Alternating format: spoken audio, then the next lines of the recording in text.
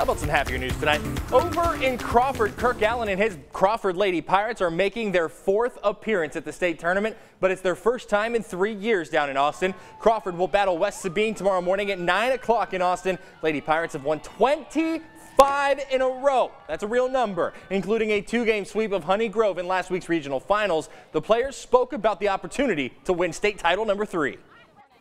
Me personally, I don't think so. It's just kind of all going quick, and we're just like focused on the next day, the next practice. So I don't really think it'll hit me till we're there about to start.